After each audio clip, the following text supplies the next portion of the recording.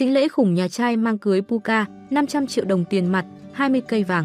Sáng nay, ngày 16 tháng 11, nghi lễ rước dâu của Jin Tuấn Kiệt đến nhà gái Puka tại Đồng Tháp đã diễn ra, tạo nên một không khí tràn ngập niềm vui và sự háo hức của cả hai gia đình.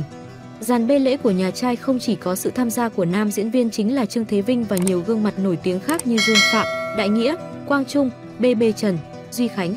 Tất cả đã góp phần làm cho không khí trở nên sôi động và ấm cúng. Trong số những điểm thu hút, dàn xĩnh lễ của nhà trai đã khiến cộng đồng mạng trầm trồ bởi sự sang trọng và phúng trang của nó. Ngoài những đồ vật truyền thống như trầu cau, trái cây, trà, bánh, có một chi tiết làm nổi bật lễ cưới này, đó chính là xính lễ lên đến 500 triệu tiền mặt và 20 cây vàng. Mọi người không khỏi ngạc nhiên và thán phục trước sự chuẩn bị kỹ lưỡng và giàu ý nghĩa của gia đình nhà trai.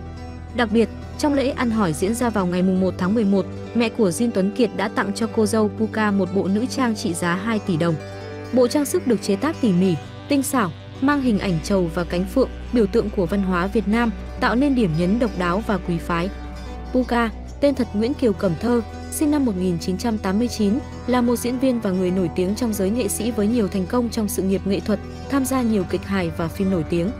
Jin Tuấn Kiệt, tên thật Nguyễn Tuấn Kiệt, sinh năm 1994, là một diễn viên và ca sĩ nổi tiếng, từng đoạt giải nam diễn viên truyền hình được yêu thích tại giải Ngôi sao xanh.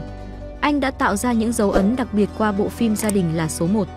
Qua bài viết này, tình yêu của Puka và Jin Tuấn Kiệt nhận được sự chúc phúc và ủng hộ từ đông đảo đồng nghiệp và người hâm mộ.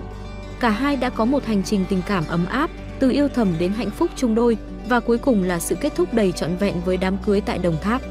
Cảm ơn các bạn đã quan tâm theo dõi đừng quên đăng ký kênh tin Việt để cập nhật tin tức nóng hồi mỗi ngày.